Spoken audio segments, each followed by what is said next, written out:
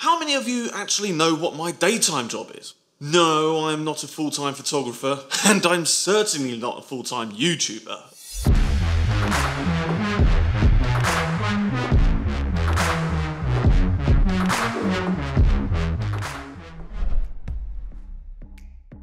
Going on guys, Shooting Dave here, so good to see your faces. Welcome back to the channel. Now if you're new here and you don't know what I'm about, I am a photographer from London that now lives here in Los Angeles and I make photo and video editing tutorials. So if that sounds like something of interest to you, then please do consider subscribing. Okay, so my full-time job is that I am a lead automotive CGI artist working at Taylor James here in the Los Angeles studio.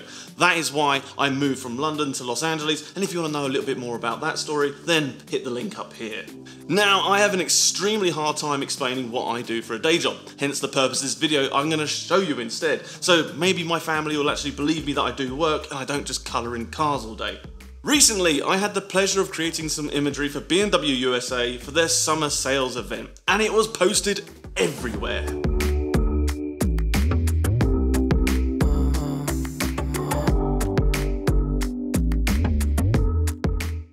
I actually created four images in total. We have one of the family pack shot, then I have three individual shots as well.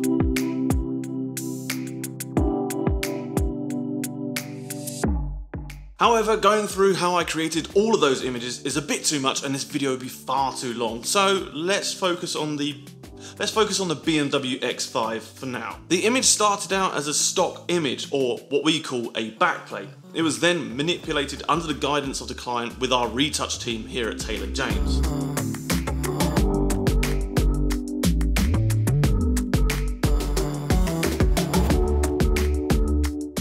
Now, my job was to take the supplied CAD data from BMW. CAD data is computer aided design and it's what they use to actually manufacture the vehicles. We get tessellated versions of that data which we can ingest into our rendering software and that's what I use. So I had to create all of the shaders and all of the textures for this car so it looks like the real thing. That means I tell each and every single material on the car what colour it is, whether it's reflective or not, how smooth those reflections are, and whether there are any textures inside it.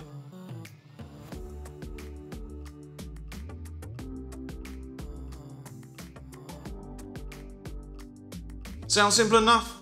Well that was actually about two or three days worth of work. Once all the shaders and textures and materials are created for the car, it's time to get it into the backplate. This involved camera matching the car using a CG camera so we could position the car so that the perspective of the car matches the backplate. Once that was done, it's now time to start lighting. To start lighting, we are given a HDRI dome with the original backplate, and that's what we use for lighting. But what is a HDRI dome? HDRI dome stands for High Dynamic Range Image and it's a huge panoramic essentially, a 360 by 180 degree image with a bunch of lighting information in there, meaning that you can re-expose it. Now it's 32-bit rather than 8-bit JPEGs which we're all used to, so that 32-bit of information means that it has all the lighting information needed to actually project those reflections onto the car. And we use the HDRI dome as the basis of our lighting. That way the reflections at least match that that is in the backplate. From there we start adding supplementary lighting in CG, much like you would if you're photographing a car for real on set. You start looking at the car in its base exposure and go, what else does it need? Maybe we can make more of the shoulder line, or maybe we can make more of the wheels, or maybe just a little bit more fill light down the side. All of those things are done in CG the same way they would be done in photography. Right, once lighting's done, that means you're finished, right? Well, no, but it's time to render. Now, what rendering means is it actually is the computer's job to then calculate all the light information. So all of those lights and how they react with all of those materials that we created at the start. Now, how long does a render take?